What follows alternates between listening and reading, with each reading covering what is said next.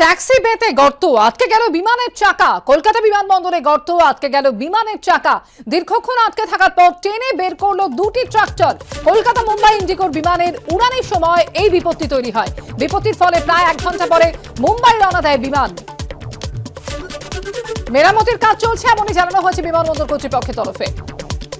Taxi বেতে গর্ত এবং তার জেরে বিমানের চাকা আটকে গেল। কলকাতা বিমানবন্দরে এই ঘটনা ঘটে দীর্ঘক্ষণ আটকে থাকার পরে টেনে বের করল দুটি ট্রাক্টর। কলকাতা মুম্বাই ইন্ডিগোর বিমানের উড়ানের সময় বিপত্তি। এবং বিপত্তির ফলে প্রায় এক ঘণ্টা পরে মুম্বাই রওনা দেয় বিমান। মেরামতির কাজ চলছে এমনই জানিয়েছে বিমানবন্দর কর্তৃপক্ষ। যে খবর আপনাদের জানাচ্ছি, কলকাতা বিমানবন্দরে ট্যাক্সি বেতে গর্ত এবং তার জেরে বিমানের চাকা আটকে গেল। বিমানবন্দরে গর্ত আটকে গেল। বিমানের চাকা দীর্ঘক্ষণ আটকে থাকার পর টেনে বের করল দুটি ট্রাক্টর। কলকাতা মুম্বাই ইন্ডিগোর বিমানের উড়ানের সময় এই বিপত্তি তৈরি হয়। বিপত্তির ফলে প্রায় এক ঘণ্টা পরে মুম্বাই রওনা দেয় বিমান। মেরামতির কাজ চলছে এমনই জানিয়েছে বিমানবন্দর কর্তৃপক্ষ।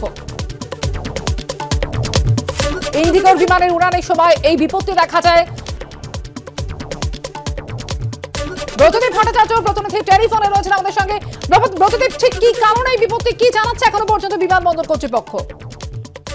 এবং অমৃতা, যেটুকুনি জানা যাচ্ছে, বিমানবন্দর সূত্রে যে এদিন ঠিক বিকেল চারটের সময় এই কলকাতা থেকে মুম্বাইয়ের উদ্দেশ্যে এই বিমানটি উড়ে যাওয়ার কথা ছিল এবং সেই কারণেই চারটে টিকিট কিছু আগেই বিমানের সমস্ত যাত্রী নিয়ে ট্যাক্সিওয়ে দিয়ে সেটি রানওয়ের দিকে যাচ্ছিল। কিন্তু তখনই ট্যাক্সিওয়েতে যাওয়ার সময় সেখানে একটি গর্ত ছিল এবং সেই গর্তে বিমানের চাকা পড়ে এবং চাকা পড়ে সেটি কিন্তু আটকে যায় এবং যেটা জানা যাচ্ছে যে বিমানটি কিন্তু কোনোভাবেই সামনের দিকে আর যেতে পারছিল না।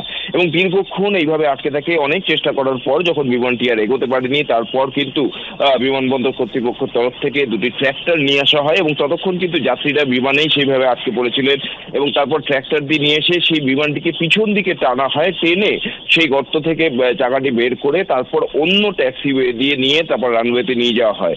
স্বাভাবিকভাবেই এই ঘটনাটা অত্যন্ত চাঞ্চল্যকর কারণ কলকাতা বিমানবন্দরে যেখানে ট্যাক্সিওয়ে এবং অত্যন্ত গুরুত্বপূর্ণ একটি বিমানবন্দর এবং সেখানে ট্যাক্সিওয়েতে এই ধরনের গর্ত কীভাবে হলো এবং সেটা কীভাবে বিমানবন্দর কর্তৃপক্ষের নজর এড়িয়ে গেল সেই নিয়ে কিন্তু প্রশ্ন উঠছে।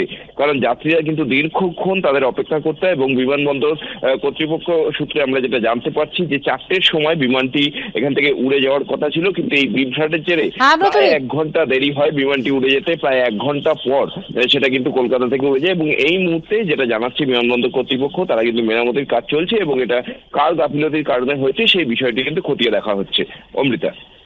ধন্যবাদ, ব্রতদেব।